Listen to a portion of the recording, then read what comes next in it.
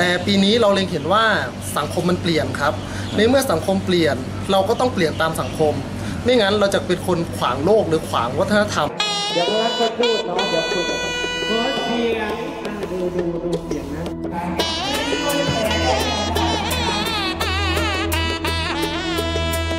นายสุประสิทธิ์ชินวงศ์นายกองค์การนักศึกษามหาวิทยาลัยอุบลราชธานี กล่าวถึงการจัดพิธีไหว้ครูที่จะไม่มีการหมอบกราบเหมือนในอดีต เพราะมองว่ายุคสมัยเปลี่ยนไปและทุกคนมีสิทธิเท่าเทียมกัน พิธีไหว้ครูจึงจะเป็นการให้ตัวแทนนักศึกษาแต่ละคณะมอบพานและยกมือไหว้ครูอาจารย์ ในพิธีที่จะจัดขึ้นในบ่ายวันที่ 30 มิถุนายนนี้ โดยนักศึกษาที่รวมตัวกันอยู่ด้านล่างก็จะเพียงยกมือไหว้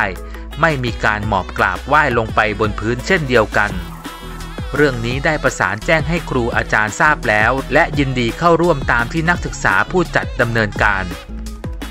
หลังจากนั้นจะเป็นการทำพิธีบายสีสู่ขวัญนักศึกษาชั้นปีที่ 1 ซึ่งจะเข้าร่วมในพิธีไหว้ครูประมาณ 3,000 คน โดยได้เชิญปอฉลาดน้อย หรือฉลาดส่งเสริม ศิลปินแห่งชาติเป็นผู้ทำพิธีบายสีสู่ขวัญ และมีนางทองแปนพันบุปผารำก่อนเชิดชูมหาลัย สำหรับการยกเลิกการกราบในพิธีไหว้ครูปีนี้ นอกจากมหาวิทยาลัยอุบลราชธานี ยังมีมหาวิทยาลัยอีกหลายแห่งที่เป็นเครือข่ายกัน ก็ได้ยกเลิกการกราบเช่นกัน ผ่านมาเนี่ยเขาจะมีการหมอบกราบกันตามวัฒนธรรมขนบธรรมเนียมเดิมของประเพณีไทย แต่ปีนี้เราเล็งเห็นว่า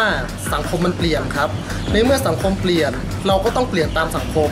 ไม่งั้นเราจะเป็นคนขวางโลกหรือขวางวัฒนธรรมที่วัฒนธรรมที่ไหลไปในอนาคต ซึ่งในมติขององค์การนักศึกษามหาวิทยาลัยอุบลราชธานีนี้เห็นว่า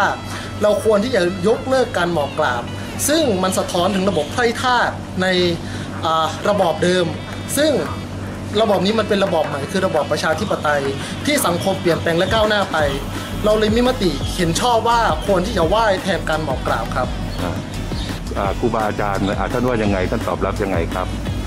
ในเบื้องต้นเรามีการคุยกันแล้วครับกับทางผู้บริหารภายในมหาวิทยาลัยท่านก็เห็นชอบที่จะให้นักศึกษาออกแบบกิจกรรมเอง ซึ่งทางผู้บริหารก็ก็เห็นชอบครับในในรูปแบบกิจกรรมแบบนี้ ซึ่งเรามีการคุยกันแล้วเรียบร้อยแล้วครับ แล้วก็มีการตกลงกันแล้วว่า รูปแบบกิจกรรมจะเป็นรูปแบบการไหว้ไม่ใช่การหมอบกราบ